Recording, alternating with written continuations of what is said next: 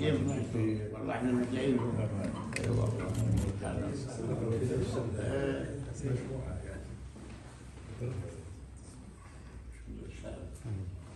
كيف الله يطول عمره ويسلمه والله دائما نشتاق اليه وعندنا عندنا أيوه مرحبا في حاجة إلى تنسيق في حاجة إلى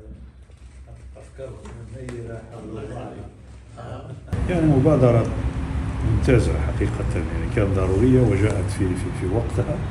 فهي لها أهداف سياسية أهداف ثقافية أهداف اقتصادية تاريخية.